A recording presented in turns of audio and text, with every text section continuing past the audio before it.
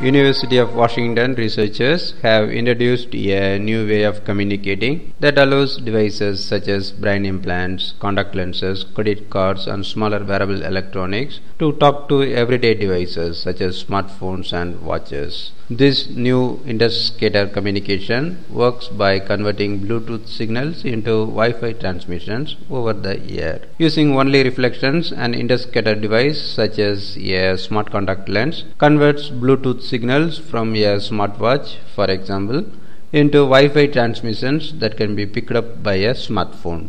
Due to their size and location within the body, the smart contact lenses are too constrained by power demands to send data using conventional wireless transmissions. That means they so far have not been able to send data using Wi-Fi to smartphones and other mobile devices.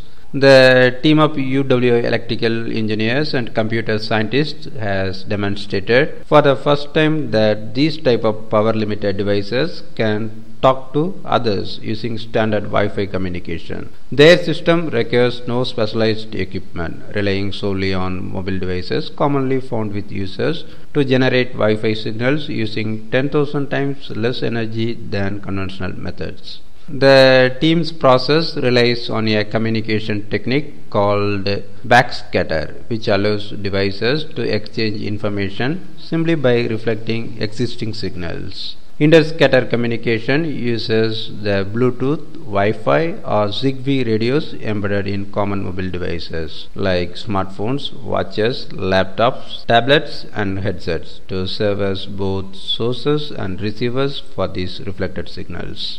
In one example that team demonstrated, a smartwatch transmits a Bluetooth signal to a smart contact lens outfitted with an antenna. To create a blank slate on which new information can be written, the UW team developed an innovative way to transform the Bluetooth transmission into a single tone signal that can be further manipulated and transformed. By backscattering that signal tone signal, the contact lens can encode data such as health information it may be collecting into a standard Wi-Fi packet that can then be read by smartphone, tablet or laptop. Beyond implanted devices, the researchers have also shown that their technology can apply to other applications such as smart credit cards. The team built credit card prototypes that can communicate directly with each other by reflecting Bluetooth signals coming from your smartphone. This opens up possibilities for smart credit cards that can communicate directly with other cards and enable applications where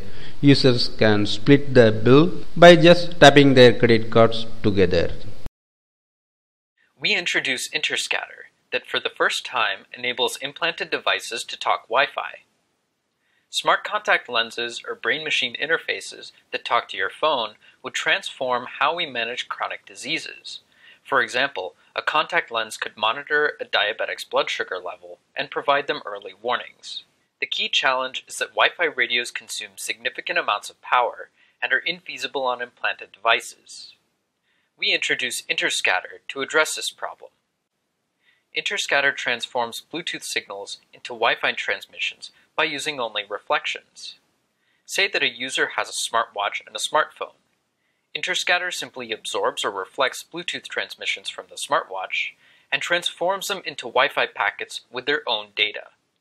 Here we show a contact lens form factor antenna and an antenna for implanted brain-machine interfaces. Here you see our Interscatter prototype implemented on an FPGA which can be scaled to a tiny IC. The prototype is interfaced with a form factor neural implant antenna.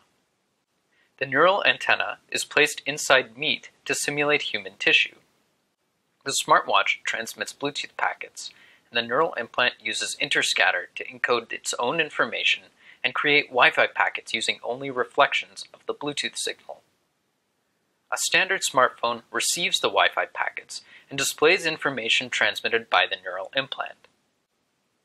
Interscatter brings internet connectivity to the next generation of implanted medical devices, which can be transformative for medical care.